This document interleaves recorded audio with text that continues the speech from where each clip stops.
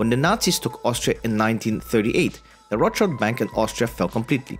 The French government expropriated Rothschild Bordeaux properties during the war, and the Nazis confiscated millions of dollars worth of art, jewels, and precious objects from the Austrian branch of the family. After the fall of Nazi Germany, only three banks remained under ownership of the Rothschilds.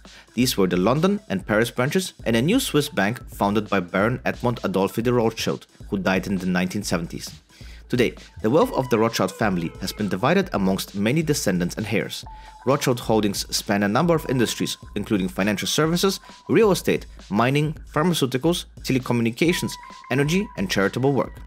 The holdings span across the globe, from North America to Europe to South Africa and Australia.